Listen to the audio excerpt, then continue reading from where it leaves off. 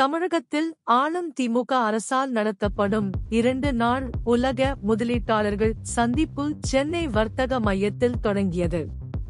முப்பது நாடுகளைச் சேர்ந்த பங்கேற்பாளர்களை ஈர்க்கும் இந்த நிகழ்வில் மின்சார வாகன உற்பத்தி மற்றும் மைக்ரோசிப் உற்பத்திக்கான வலுவான உள்கட்டமைப்பை வளர்ப்பதில் மாநிலத்தின் உறுதிப்பாட்டை வெளிப்படுத்தியது. இது தொடக்க நாளில் குறிப்பிடத்தக்க கவனத்தை ஈர்த்தது. இன் தொடக்க நாளில் தமிழ்நாடு அரசு ஐம்பத்தைந்தாயிரத்து அறுநூற்று ஐம்பத்தி நான்கு கோடி ரூபாய் முதலீட்டை வெற்றிகரமாக பெற்றது. புகழ்பெற்ற நிறுவனங்களான ஹுண்டாய் குவால்காம் டாடா எலக்ட்ரானிக்ஸ் போன்ற நிறுவனங்களுடன் புரிந்துணர்வு ஒப்பந்தங்கள் கையெழுத்தானது குறிப்பிடத்தக்க சாதனையாகும்.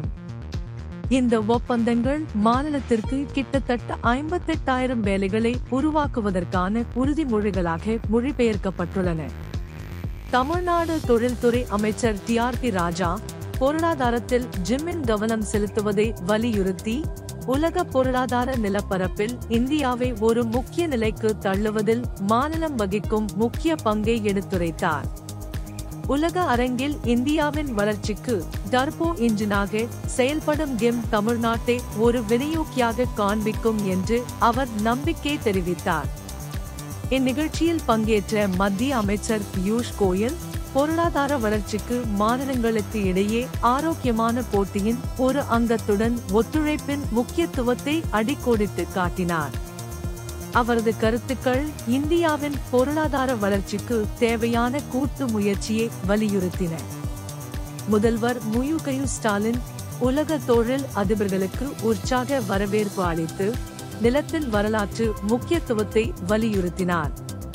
பெண்களுக்கு அதிகாரமளித்தலுக்கு முன்னுரிமை அளிப்பதற்கான உறுதிப்பாட்டை அவர் கோடிட்டு காட்டினார் மற்றும் இரண்டாயிரத்து முப்பதாம் ஆண்டுக்குள் தமிழ்நாட்டிற்கு ஒன்று டிரில்லியன் டாலர் பொருளாதாரத்தை அடைவதற்கான லட்சிய இலக்கை அறிவித்தார்.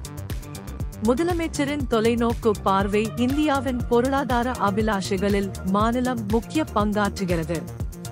முடிவில் தமிழ்நாட்டில் இன் முதல் நாள் கணிசமான முதலீட்டு உறுதிப்பாடுகள் உலகளாவிய நிறுவனங்களுடனான மூலோபாய ஒத்துழைப்பு மாநில மற்றும் தொழிற்சங்க தலைவர்களால் வெளிப்படுத்தப்பட்ட பொருளாதார வளர்ச்சி மற்றும் அதிகாரமளித்தலுக்கான முன்னோக்கு பார்வை ஆகியவற்றை கண்டது.